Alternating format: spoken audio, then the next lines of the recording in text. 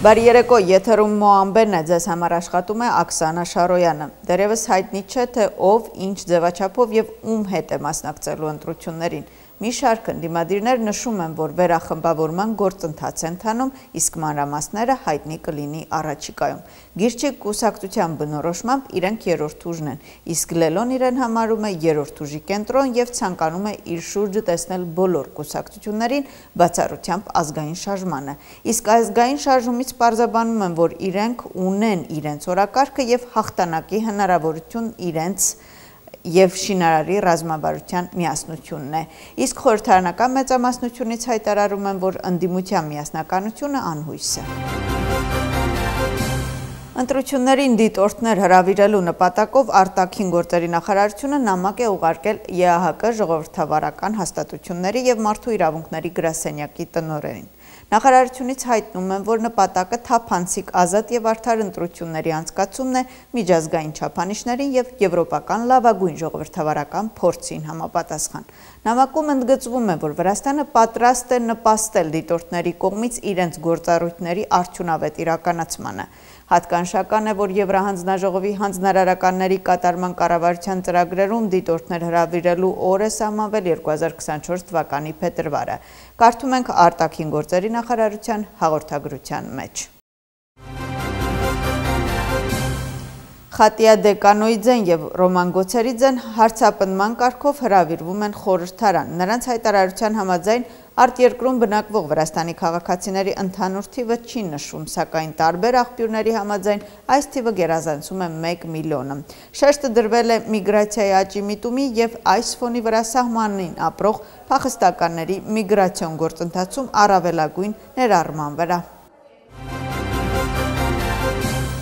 Վրաստանի վարչապետը հանդիպել է հետախուզական ծառայության ղեկավարին։ Վրաստանի վարչապետ Իրակլի Կոբախիձեն հանդիպել է հետախուզական ծառայության ղեկավար Շալվա Լոմիձեի հետ։ Շալվա Լոմիձեն Իրակլի Կոբախիձեին տեղեկատվություն է տրամադրել գործակալության կողմից իրականացվող գործունեության մասին, թե գործառական եւ վերլուծական ուղություններով։ Քննարկվել են 2024 թվականին հետախուզական ծառայության զարգացման առաջնահերթությունները, ներառյալ ծրագրված միջազգային նախագծերը եւ իրականացվելիք միջոցառումները, գիտական եւ կրթական ոլորտները կարողությունները բարձրացնելու համար։ Զրույցի ընթացքում անդրադարձ է կատարվել նաեւ Վրաստանի անվտանգության միջավայրի Սևծովյան տարածաշրջանում արկա խնդիրներին եւ գործընթացների հետագա զարգացման հավանական սցենարներին։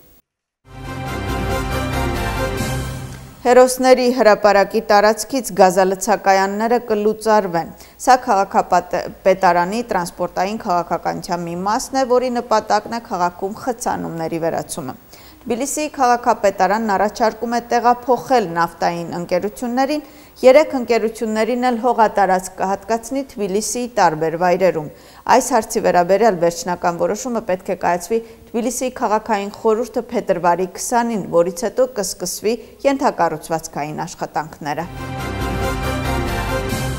Դատախազությունը մեկ անձի մեղադրանք է առաջադրել հարկերից խուսափելու փաստով։ Ֆինանսների նախարարության քնչական ծառայության կատարած քննությամբ պարզվել է, որ մեղադրյալը, ով եղել է 8 ձեռնարկությունների տնորեն եւ փաստացի կառավարիչ, իր հարկային հայտարարագրերում թերի է արտացոլել ավելացված արժեքի հարկը եւ եկամտահարկով հարկվող փաստացի շրջանառությունը։ Ըստ այդմ նա դիտավորալ խուսափել է առանձնապես խոշոր չափի 3 միլիոն 223 հազար լարի հարկից։ Պատիժը 5-ից 8 տարի ազատազրկում է նախատեսում։